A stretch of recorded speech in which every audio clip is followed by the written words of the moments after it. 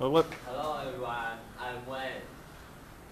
I like read something about science book, but I need someone to help me because it is very heavy.